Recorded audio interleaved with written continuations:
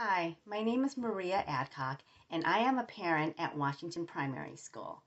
Today I'm going to be reading you a book called Heungbu and Nolbu by F.B. Smith, illustrated by Montse Vallejo and Xiaolei Kwang, a folk tale in English and Chinese. This is a Korean folk tale that the author adapted meaning she made some changes to the original version to make it a little more modern. All right, so let's begin. Now, this book is written in both English and Chinese, as I mentioned, but I'm only going to read the English portion.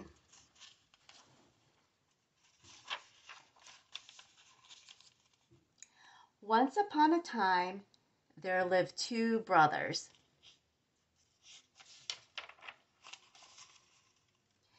The younger brother, Heungbu, was kind and generous. The older brother, Nolbu, was greedy and ill tempered.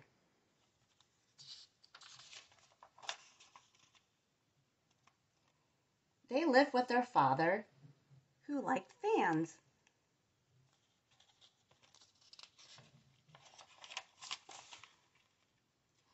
One night, their father suddenly became very ill.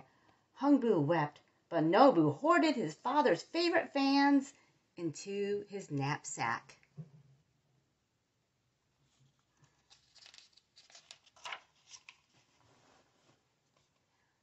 Nolbu shouted, This house is all mine now, and chased his brother out of their home.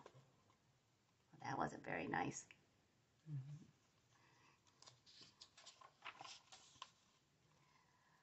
Heungbu built himself a straw thatched house while Nolbu spied on him.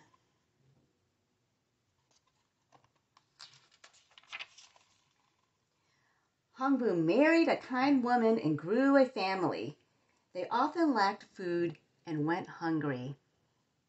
That's why they're crying, because they're hungry.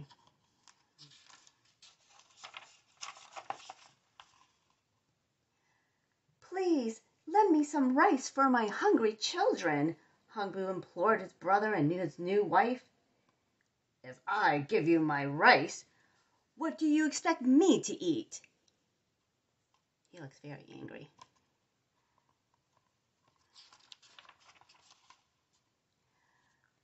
Rice, rice, here's your rice. Nolbu's wife slapped Heungbu's cheek with a ladle. Heungbu picked the grains off of his cheek and said, If you slap my other cheek, I can take more rice to my children.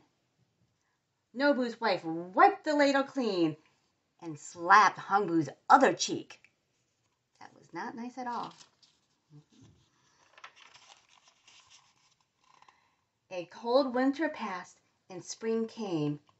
Two swallows built a nest Heungbu's tree, in Heungbu's tree and I gave birth to baby birds.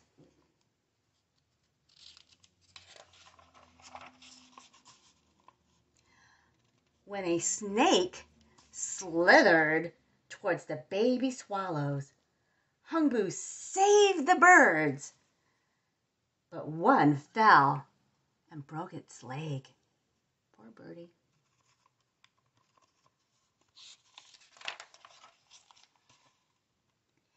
Heungbu treated the bird's leg. You see, he wrapped up his broken leg to try to fix it.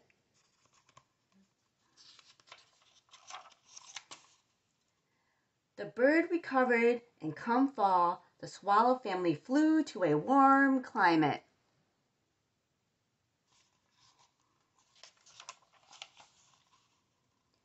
The next spring, the swallow dropped a seed onto Heungbu's yard.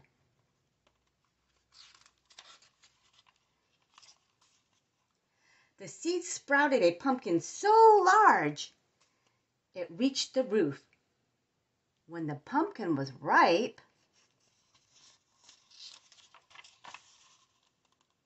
they could already taste the pumpkin porridge. But what in the world spilled out of the pumpkin? This is going cur, cur, burr. Because they're using this giant saw to break open the pumpkin. So let's see what's inside. Rice, soybeans, fish, fruit, cookies, coins strung with rice stalk, and gold sparkled in the sunlight. Well, that was a nice surprise. Did you hear what happened to your brother? Demanded Nolbu's wife.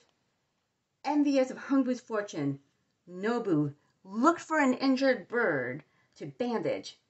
Finding none, he climbed the tree and he pushed a baby swallow out of its nest. Well, that was really mean. Nolbu nursed and injured the injured bird back to health. In the spring, the swallow came back and dropped a seed onto Nolbu's yard. The seed sprouted a pumpkin. Oh, look at that birdie. Does that bird look happy or mad? He looks kind of mad to me. So I wonder what happens now. Nolbu impatiently cracked open the unripe pumpkin. He could already feel the gold coins between his fingers. But what in the world spilled out of the pumpkin? Whack, whack, whack. See, he's using the hammer to crack it open. Instead of treasures, a fierce wind blew Nolbu's home far, far away, while angry fans smacked, spanked, and poked him. Look at all that. Mm-hmm. The greedy man and his wife found themselves with no place to live. Did you hear what happened to your brother? asked Heungbu's wife. Heungbu visited the homeless couple.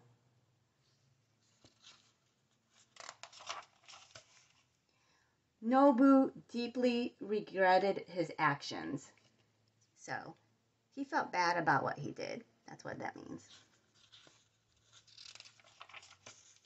A few days later, Nolbu taught his nephews and nieces how to fly a kite. With a healthier father, the entire family enjoyed a pumpkin, kite, and fan festival. Oh, look, they're all so happy now. The end. So I hope you enjoyed this book, Heungbu and Nolbu by F.B. Smith.